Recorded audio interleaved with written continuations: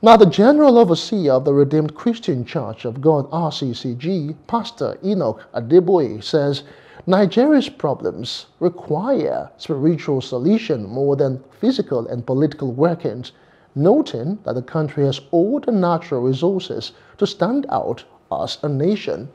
The Christian cleric said this during his courtesy visit to Sir Kashim Ibrahim Government House, Kaduna, for a two-day Light Up Kaduna crusade.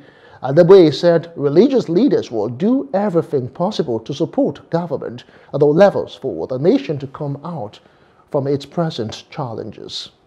The problems our nation is facing is more than political. The problem will require quite a bit of uh, spiritual solution. We, we as a country are blessed. We are blessed with people with great intelligence. We are blessed with all manners of resources. And yet we have so many problems. And it's not as if the people in authority are not trying their best. They're, they're doing as much as humanly possible. And I will find that when you have problems that are beyond human's ability to solve, then you call on the Almighty. The reason we call him the Almighty is because he has the power to solve all problems. The Redeemed GO said when people lose hope, they do strange things that will hamper the progress and development of the country. People lose hope. They do all kinds of strange things. Many of our youth, for example, running outside, out of the country, uh, forgetting that those countries they are running away to, they also have their own problems. And then those who cannot run anywhere, we, we don't want a situation where people begin to think of taking their own lives. Our only two way to support the efforts of all the various governments and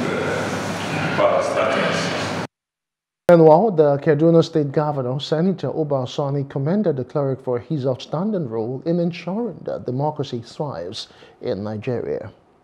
The country at this critical time requires intervention from people like you who are tested and who have in the past intervened and helped us to find solutions to our problems in the past.